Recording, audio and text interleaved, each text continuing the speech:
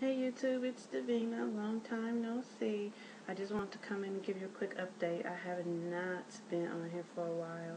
You know how it is. Sometimes you just get so busy you can't uh, make a video. But yeah, my hair's a little wild right now. This is like a Bantu knot out that's um, a couple days old. So yeah, but I just haven't done anything to it today except for spray it. I haven't um, tried to style it. It's just doing what it's doing. But yeah, I wanted to come and give you a look at my Sisterlocks. They're doing great. Um, they're growing. I'm sure you can tell.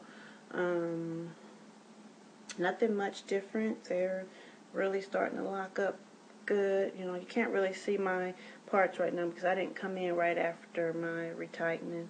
Um, the next retightening is, so this retightening is probably like probably um, a month old. My hair is like growing so quickly um, that it just my parts and stuff are like real crisp for maybe two weeks, and then it's just really growing. But um, I think that's really it. I'm doing the same thing. I uh, I'm washing it a little more now because it's mature, maturing and I just been like really itchy, so I've been washing it a little more. Um, and instead of just a clarifying shampoo, I've been using a moisturizing shampoo. Um, nothing special. I use like a VO5 uh, moisturizing shampoo, and then that's not every time. That's probably every other time. Um, and I normally don't wash my hair once a week, but here recently I have been because it was just really itchy. And so I would wash my hair one time with the moisturizer shampoo. The next time I would do the clarifying because I don't want any buildup from anything. So that has seemed to help some um, with the itching scalp, but I don't really know why I was doing that, but it was just like really bad. But it's getting a little better since I've been doing that. Um, my color is faded as you can see.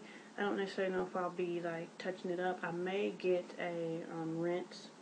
I was thinking about doing that instead of a permanent dye. I may get a rinse and just put something in here for the um, spring, summertime.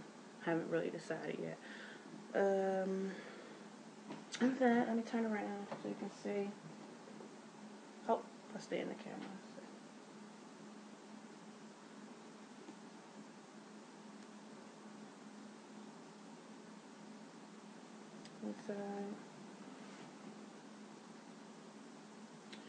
And um, yeah, I think that's really it. Uh, not much going on. I'll put a couple of pictures on the end of this of a couple of styles I've done.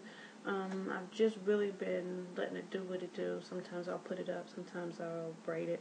Um, I did a rod set uh, where I set under the dryer and dried it. That was really nice. Um, that's about it. I really just wanted to come and say hi. Um, my daughter's hair is doing great. She wants to make a video, so hopefully the next time I get her washed, I will show you her braid locks. Her hair is really growing.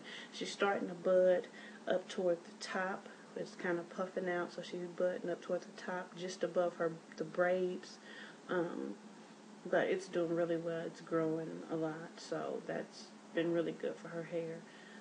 Um, other than that, I won't ramble on. I just wanted to come and say a quick hello, show you my hair really quickly. It's doing fantastic, so I don't really have much to say on it except for I am still loving it. Uh, I've been contemplating taking a retightening class, not for myself because I just really don't want to do my own hair unless I just really have to. Um, but I've been contemplating on taking that and maybe the full Sisterlock class, I don't know. I'm, I have to really think about that when I pray on that one because that's a lot of money.